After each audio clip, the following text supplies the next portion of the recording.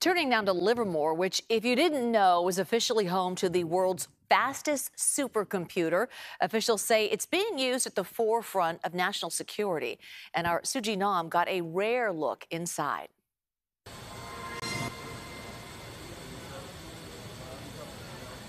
Meet El Capitan, the world's fastest and most powerful supercomputer housed in Lawrence Livermore National Laboratory. well, Pythagoras so, Watson is a team so lead for the El Capitan Advanced Technology System. When people talk about running on high performance computers, this is the main thing.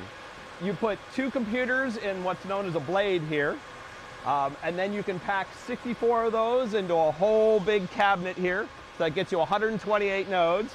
And then you buy 87 of those racks and you get to 11,136 individual computers. More than 11,000 individual computers that come together to help lead the way in all types of research, including national security. We can simulate climate, we can simulate uh, uh, gene folding, um, so all the way up through eventually the simulation of nuclear weapons. El Capitan is in the early access mode, meaning more testing and calculations to eventually process classified information.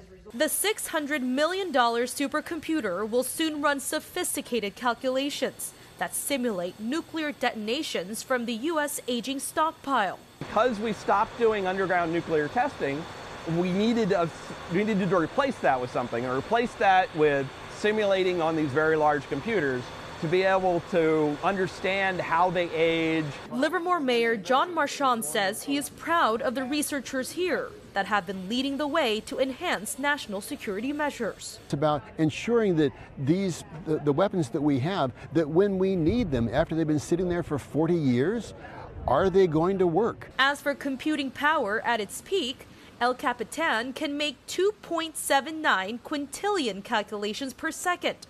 Well, what does that mean? Let's say you went back in time 2.79 quintillion seconds, you'd arrive more than 70 billion years before the Big Bang. Actually have results that match our real experiments.